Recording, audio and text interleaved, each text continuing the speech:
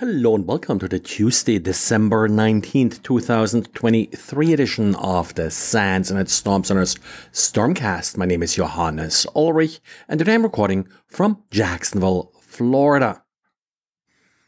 Starting today with an interesting blog post by SEC Consult that uh, was looking into SMTP smuggling. And I have to say, I was surprised in part not that the vulnerability exists, but that nobody really has discovered it earlier. Maybe someone has, at least I don't remember having seen it. The problem here is similar to HTTP smuggling, which is a well known vulnerability and, well, uh, sort of uh, borrowed its name here for SMTP smuggling. The problem with HTTP smuggling is where you have conflicting headers as to how long a request is. And then if you have multiple requests in the same TCP connection, well, a middleware like a proxy or so could get confused about where one request starts and the next one ends. The problem here with SMTP smuggling is actually a little bit simpler. In SMTP, we don't have these uh, conflicting length headers. Instead, each email is terminated with a dot on a line by itself. The problem here is, and actually that's also something that sometimes comes up in HTTP, that typically end of the line means carriage return line feed. But, uh, well, uh, sometimes just a line feed is used to indicate the end of a line and the beginning of the next line. And that's sort of uh, where mail servers differ, where some mail servers apparently are taking the line feed by itself as sufficient, while others only look for the combination of carriage return and line feed. The problem now is that a mail server may receive multiple emails as part of one TCP connection. Again, that's somewhat normal. Then verify the headers uh, for DKIM signatures, SPF compliance, and the like. And then, well, uh, forward that email to the next mail server that actually does the final delivery.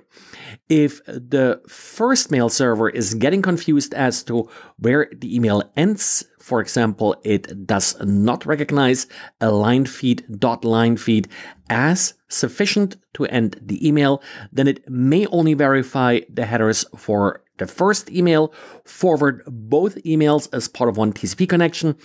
The second mail server now believes the first mail server did all of these SPF and DKIM checks and is now delivering two emails because it accepts the dot just terminated by line feeds uh, without carriage return as the end of an email. Pretty uh, tricky exploit here and apparently does happen even in some larger uh, email providers and uh, could easily then be used to bypass SPF, DKIM and similar spoofing protections. Personally, I'm not that terribly worried about the spoofing protections. Like we all know that uh, they're not really perfect. Where it would get interesting if this could also be used to avoid these external email headers uh, that some companies are adding in order to warn their employees of uh, impersonation emails that may look like they come from an internal address. And a lot of uh, the attacks against the software supply chain that uh, I've been talking about, and lots of people have been talking about, are targeting developers at uh, crypto uh, coin uh, software companies. Now, it turns out that at least one of these attacks was somewhat successful. Ledger, who is mostly known for its hardware wallets, is also producing some JavaScript uh, that they're calling the Ledger Connect Kit that allows websites to make it easy for users to connect uh, their wallets. Well, it turns out that an employee of Ledger fell for a phishing email, which then resulted in malicious code being injected into this JavaScript library, which in turn allowed the attacker to steal funds from users using Ledger Connect.